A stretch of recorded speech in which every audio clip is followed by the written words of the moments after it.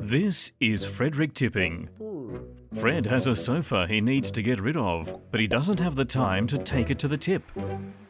So Fred hatches a crafty plan. He takes the sofa outside his house and leaves it on the street. No more sofa, no more problem. Unfortunately for Fred, other dumpers see the sofa and decide to put their rubbish next to it. Pretty soon, Fred's house is surrounded by household waste. And to make matters worse, he gets a fine in the mail for illegal dumping. Some plan, Fred.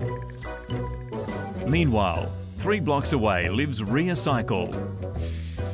She has a table she needs to get rid of, but doesn't have a car to move it. Thankfully, Ria knows about North Sydney Council's free household cleanup service. A few clicks online, and Ria has booked to have the table picked up. She puts it out on Sunday, and the next day, Council takes it away. Nice one, Ria.